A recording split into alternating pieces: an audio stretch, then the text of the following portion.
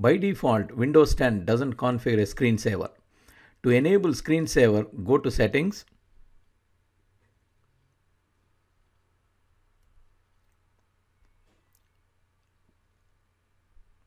click on Personalization, click on Lock Screen, scroll down and click on Screensaver Settings.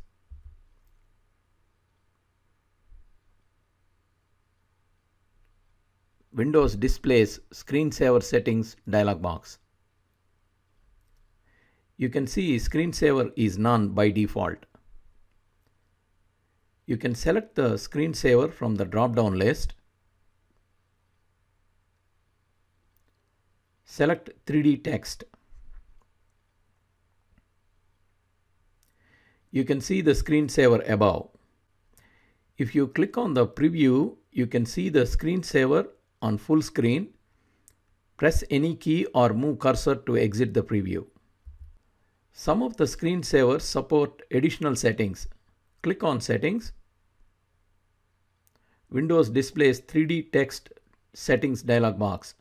You can have a custom text like My PC.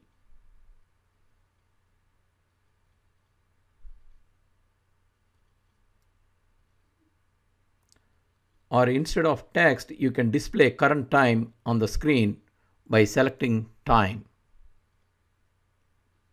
You can change font, rotation type, surface style, resolution, size, rotation speed. After making changes, click on OK to save.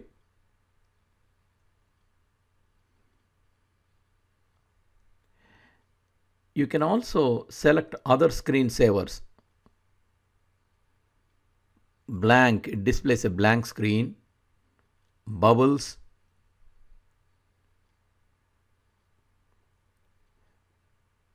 Mystify and ribbons. But these doesn't have any additional settings. If you click on settings, you can see no options dialog box is displayed. If you select photos,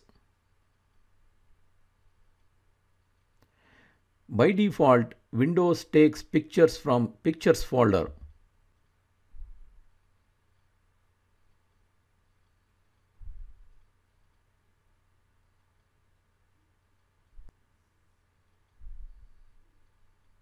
Click on Settings.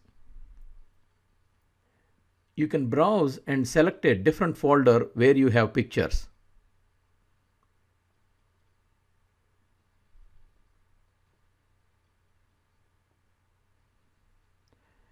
You can select slideshow speed like slow, medium, fast. Select the checkbox if you want to shuffle pictures. After making changes, click on Save.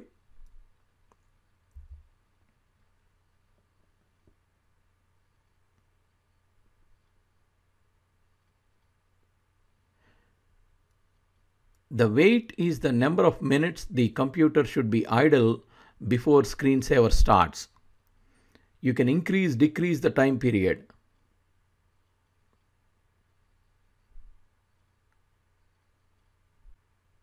Select this checkbox if you want to display a logon screen when you want to resume working, then it will prompt you for a password. Click on OK to save changes. If you like this video, please subscribe to our channel.